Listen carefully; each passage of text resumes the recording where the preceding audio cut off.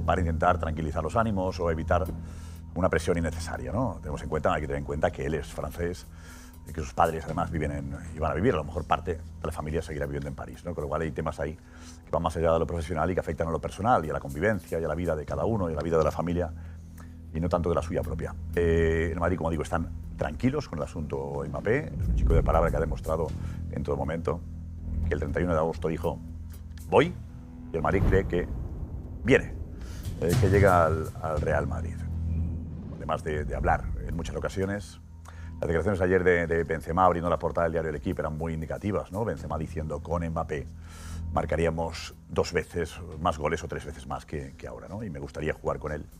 Madrid no se dice, cuando son tan amigos, no se dice si no hay posibilidades. Uno está seguro, Benzema, de que Mbappé vaya a llegar al Real Madrid. Hay cosas que, margen de lo que se diga, de la posibilidad, de las presiones que está recibiendo, eh, que son ciertas, de que el PSG va a intentar todo para que finalmente pueda incluso romper el acuerdo que tenga con el Real Madrid, no parece que lo vaya a hacer. No parece que vaya a romper una palabra eh, Mbappé con todo lo que ha hecho desde finales de la temporada pasada. ¿no? Y cuando comprobó cuál era el esfuerzo que hacía el Real Madrid pagando, ofreciendo hasta 200 millones de euros a un club cuando el jugador quedaba gratis, quedaba libre a los seis meses.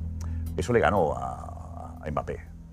El esfuerzo del Real Madrid ofreciendo 200 millones cuando quedaba libre a los seis meses, eso fue muy importante para que sintiese Mbappé ¿no? el, aprecio mayor eh, por el Real Madrid que ya lo sentía como club. Desde que admiraba, que admiraba incluso, como sabemos todos, a, Cristiano Ronaldo. Eh, bueno, la realidad, cómo se plantea la situación, digo cuando se cierra, no digo que esté cerrado esté firmado, no he dicho eso. Yo nunca he dicho que estuviese firmado, nunca, pero que sí estoy convencido de que va a jugar en el Madrid. Son cosas diferentes. No firmado, pero sí va a jugar en el Madrid. Y lo que está previsto es que la presentación sea a finales de mayo. Eh, los jugadores este año no hay Eurocopa, no hay Mundial tampoco. Los jugadores después de la Liga quieren marcharse de vacaciones. El objetivo del Madrid es hacerlo cuando la gente no se vaya de vacaciones todavía y sea a finales de mayo. Podría pasar una cosa, que el Madrid se clasifique para la final de la Champions, en ese caso sería la primera semana de abril. A finales de mayo es cuando, finales de junio digo, en caso que el Madrid llegue a la final de la Champions, sería la presentación la primera semana de junio. O sea que eh, la idea es, eh, repito, finales de mayo. Si el Madrid no llega a la final de la Champions, primera semana de junio, si el Madrid juega la final de la Champions.